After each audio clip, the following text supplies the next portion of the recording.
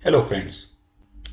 Today we discuss about combo box in LabVIEW.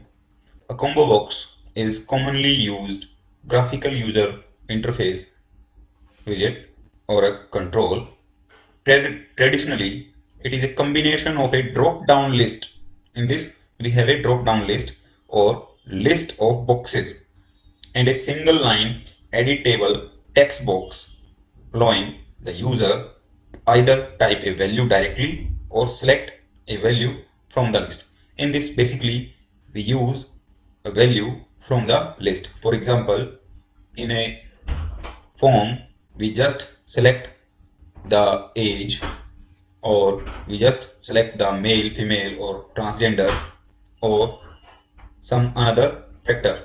So now we create a combo box. To create a combo box, you just directly go to on front panel strings combo box. So this is my combo box.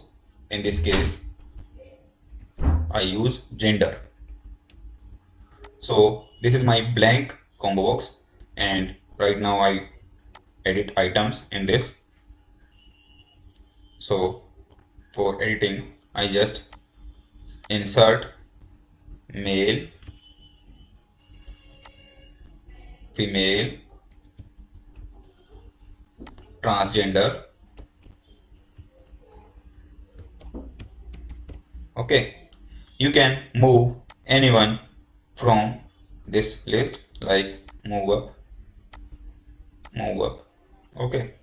Now place ok and I am creating an indicator over there. Create an indicator.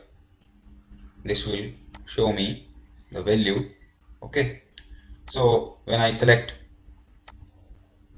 from here like this is a drop down list male female and when I hit on run it gives me the value. You can use drop down list in application or in a filling a form or another part like another example of combo box like in this you have to fill out the values like mother, father, brother, sister.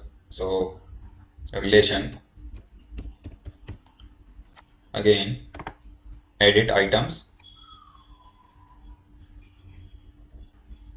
and insert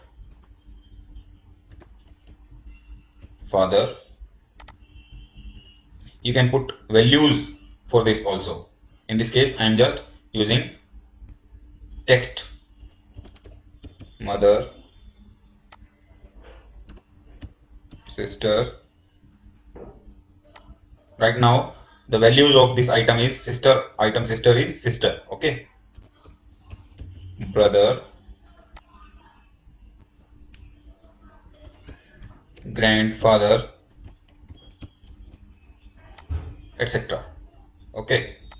So again over here is the drop down list for this this is the blank list because I place a blank part in this. So this is the how you can use combo box. Thank you